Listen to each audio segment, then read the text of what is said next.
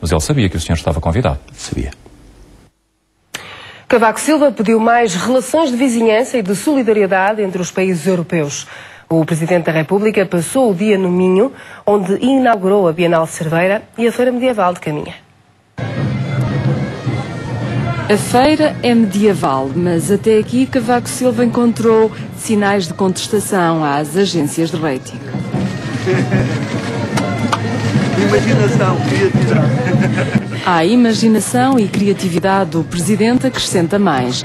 Cavaco Silva volta a pedir transparência e objetividade.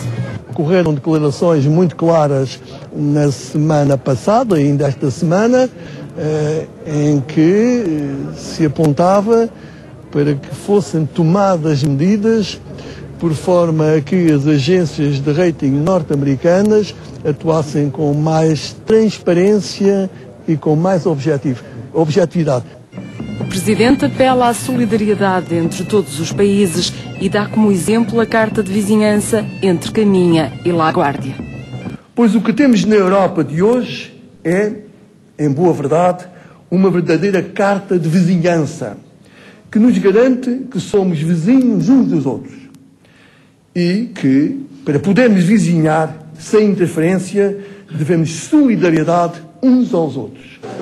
Em Vila Nova de Cerveira, o Presidente da República voltou a encontrar ambiente de festa ou não estivesse no Minho e na inauguração da 16ª Bienal de Arte.